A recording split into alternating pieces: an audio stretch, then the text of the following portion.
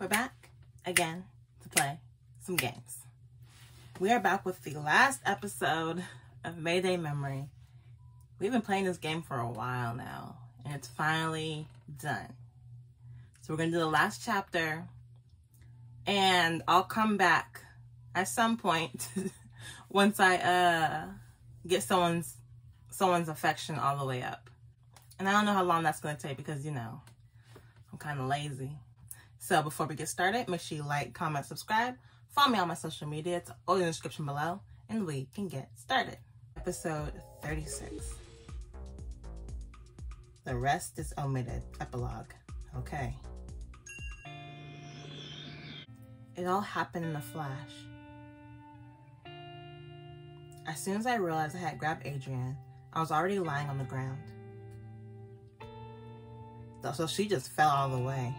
Is Dell broken? Is she she is she good? The building had already completely collapsed all around us. The ground was covered in debris and dust. On the side were the robots we had seen from the rooftop. Some of them crushed by the building, crashing down on top of them. The energy I had just felt while falling to the sky was now all but exhausted. I'm back. But you fell. Are you good? Is Adrian good? I'm back to my regular me.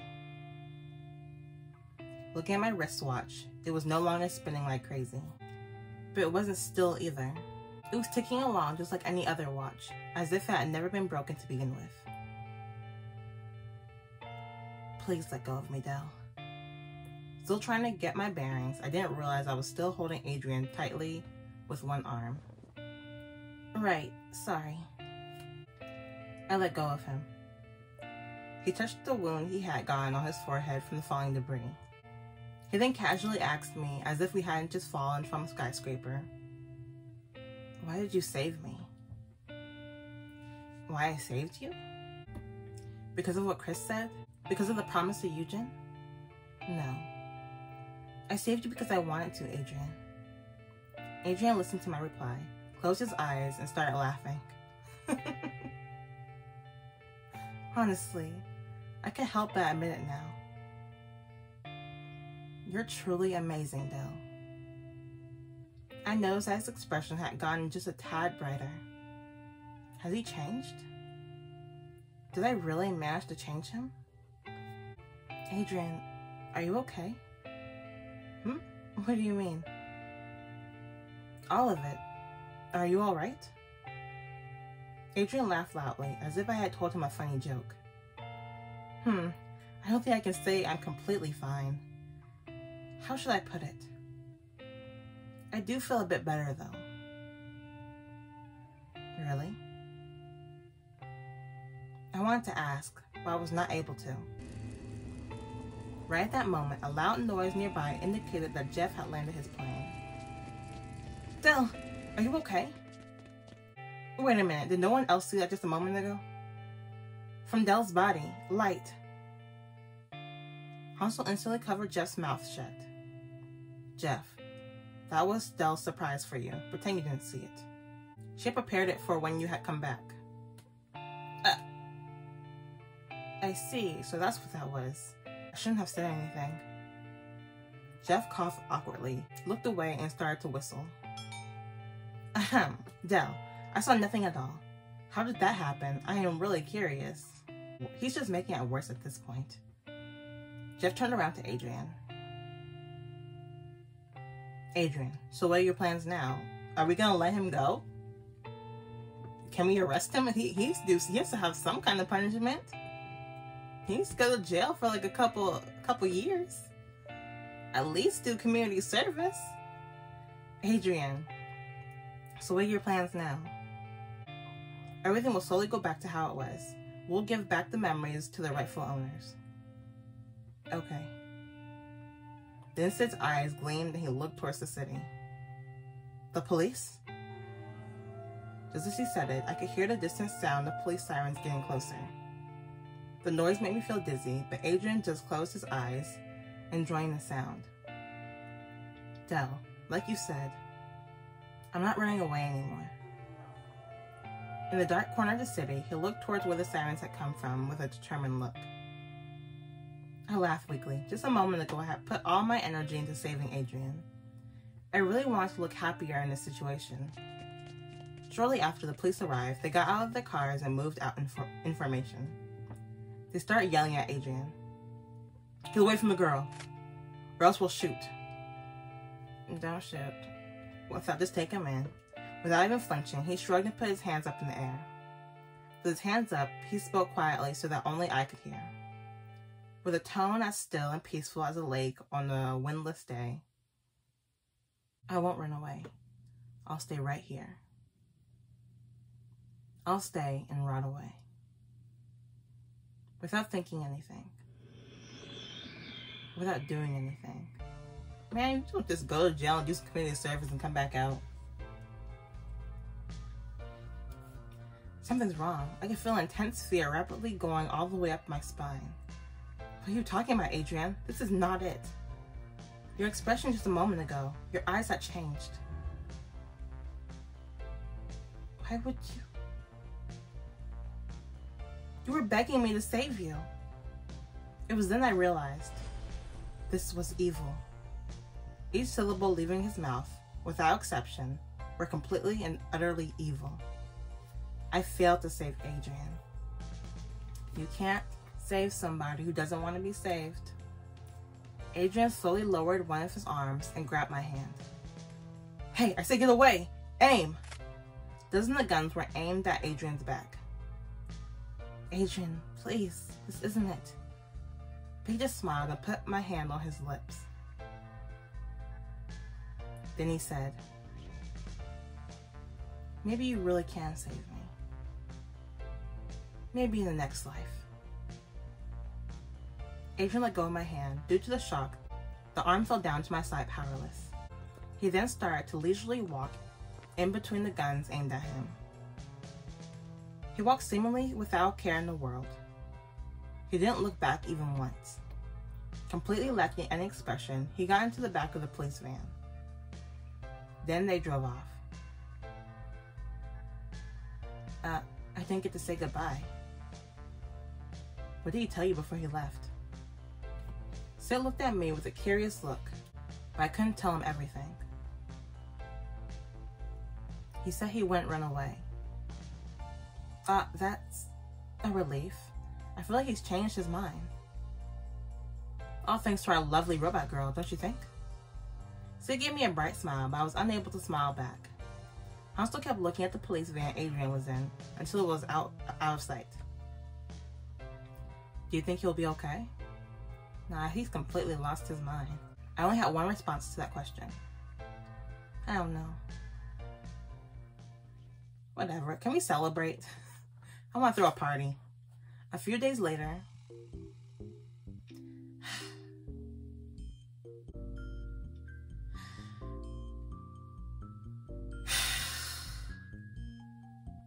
Could you stop wasting so much oxygen? You're just speeding up global warming. What? Am I not allowed to breathe? Have you gone and become a neo hippie or something? If you really plan on being a neo hippie, just give up. You would just be letting down a depressed blonde guy anyways. So just raised an eyebrow and asked, Anyone here know why she's being like this? Because of Adrian? After all, Dell too has feelings. Guilt, embarrassment, hopelessness, longing for forbidden love, you know, that sort of thing. What forbidden love between between who exactly?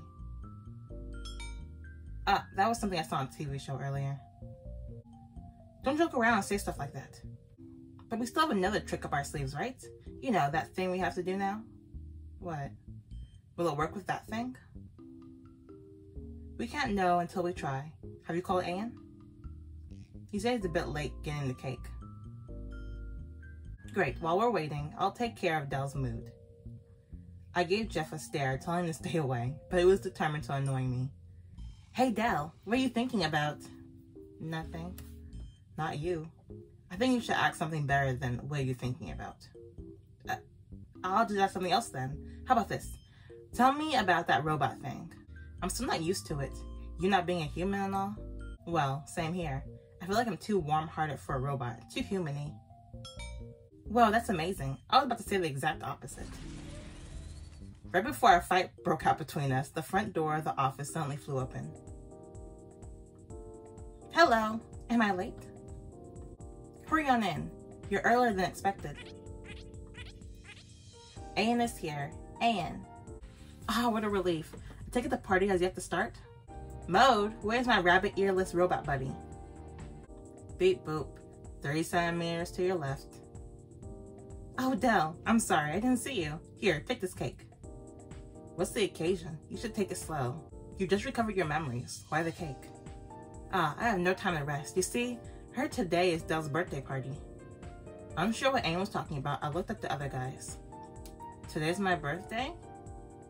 Hey, the exact date isn't important. Today's your birthday. I told you back then that we'd have a party for you, remember? Thinking back, I vaguely recall him talking about something like that. What? Hansol, when is my birthday? We were talking about the day I first booted you up. It's not today. But let's just say it's today. Hey, even if it isn't today, when was it? Just let me know what month and what day. No, I can't. Why?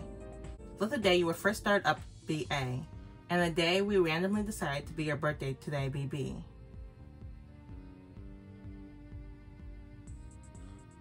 Then if we were to find out the exact day of A, even if we were, this is confusing, Hansol.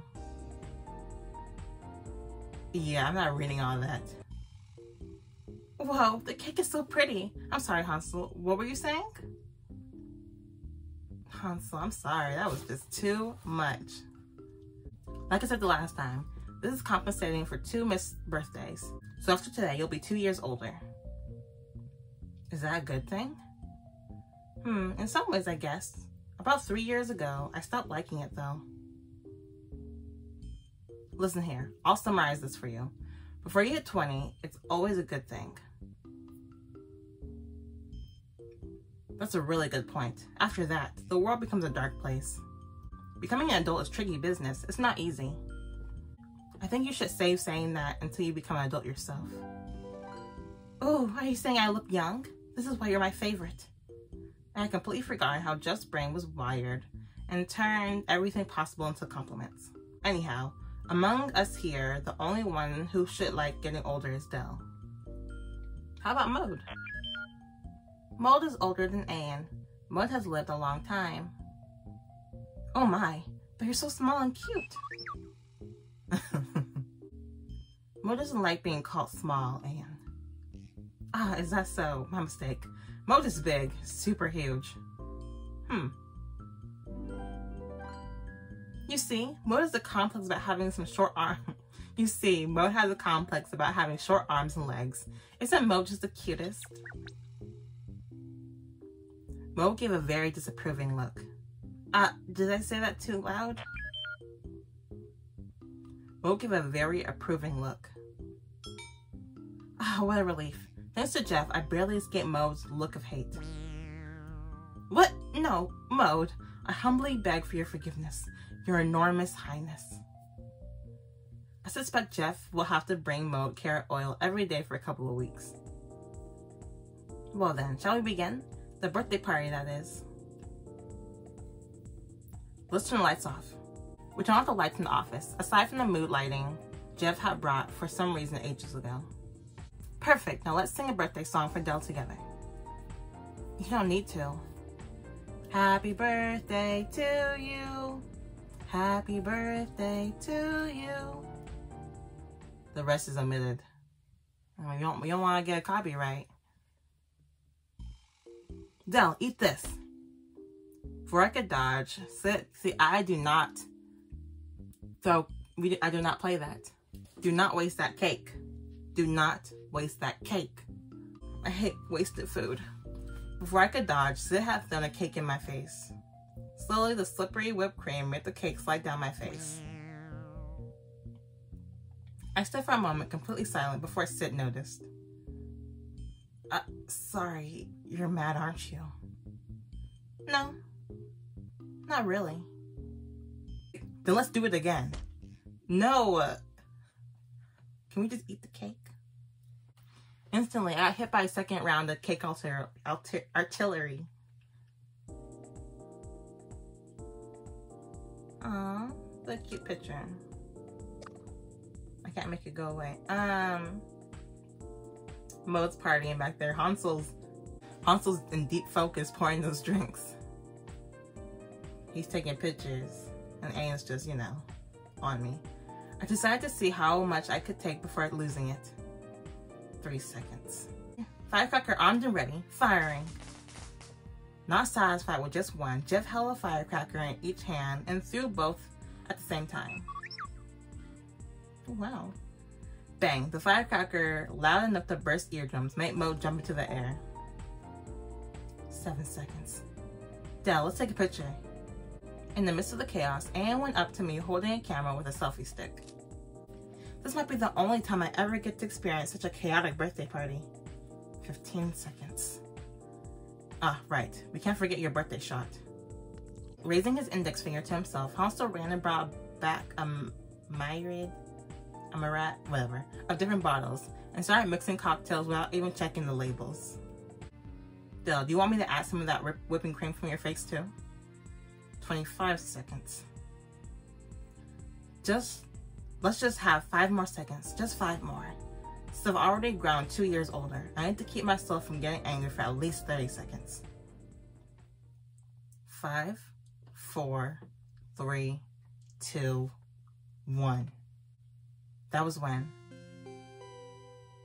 Dell, happy birthday. As if counting down together with me, Mo stretched out his short arms and handed me something. What's this? Is this for me? Mo was holding a tiny clay figure. It had brown hair and was wearing a brown trench coat. It's you. It was definitely not the most well-made clay figure I'd seen. But thinking about how in the world Mode could have made that with its short arms, I couldn't help but smile. Oh my god, Mode. Thank you so much. I'm so touched. You're the best. I hugged Mode tightly, and I could feel my rage meter going back down to the normal levels. I promise, I'll get you some carrot oil as a New Year's present. Mo turned around and gave Jeff a sharp look. Oh, oh, why are you looking at me like that, Mode? What is this, some kind of robot union? Sweet, are you gonna take over the world now? Yes. Please spare me. Well, I just died. Jeff, the mood is weird. Please do a toast or something. Jeff, who had just been enjoying watching the ruckus, came to his senses and grabbed a glass. All right, a lot of things happened recently, but we all made it safely into the new century. I wish you all the best in the new year and great job, squad. Good job. Great job, everyone. Nice job. Good job. Everyone joined the toast, sharing a wholesome vibe, and I slowly looked around at everyone. Great job. I look forward to keep working with you. We all smiled at each other and raised our glasses up. Congratulations on finishing the epilogue. Now, try maxing out the affection of the character. You can get a special memory chip by filling up all the affection. Yep, that is my next goal, which I will do eventually. Okay, now that we're done with Mayday Memory, let's just let me just give you guys my little review of it i guess. So i think that was a really good ending to the story. Dell finally found out who she was and we celebrated by having a birthday party for her. That was very sweet. Characters very memorable. But with this game i feel i feel like i personally i feel like i was more into the story than the boys which is a really good thing. But it was too, I I couldn't actually choose a guy because I was so into the story. But you know, I think I think I would have well, now that I've played the game and I know the story, I think I like Hansol the most. I think Hansol is my favorite actually. First it was Anne, but that kind of disappeared. so our villain, Adrian, he was a pretty good villain and I do I do appreciate the fact that he you can't save somebody who doesn't want to be saved. That's a fact. You can't save somebody. And I like how Dell wasn't able to save Adrian because that's realistic, you know? Adrian did not want to be saved. He wants to rot away in prison. That's his decision. You can't save somebody like that. I appreciate Lucydreams doing that. Not giving him a little redemption, you know? Dell is a really good protagonist, I think. I really enjoyed playing as her. She was very funny. Um, not confident. What's the word I'm looking for? She doesn't tolerate people messing with her. I like that the most about her. Out of out of all the Lucid Dream games I've played so far, so that's Dangerous Fellows, Mayday Memory, and currently Havenless also, which I'm almost done with. They have, Lucid Dream has definitely put the most effort into uh, Mayday Memory. They really did. Because, I'm not just talking because, I'm not just talking about the typos. Dangerous Fellow has typos. Uh, Havenless has a lot of typos. They, um, there was like no no typos, I don't think, really. I don't think, I can't remember a single typo that stood out. The writing, the story. Because I feel like Lucydreams, I like, they, they keep pushing out games, you know? Like, they're currently, they might just release like Blood Kiss right now, because they, they're always pushing out games. But I think they took the most time into Mayday Memory, and I appreciate that. So overall, I like this game a lot. I do need to uh pick a guy to do the epilogue or get their epilogue. Tell me what you guys think of the game. Tell me what you guys think of Lucydreams. And thank you for watching me play this game. It has been a nice journey. I will see you guys. I'll see you guys on Friday with uh Obey Me. And yeah. Bye bye.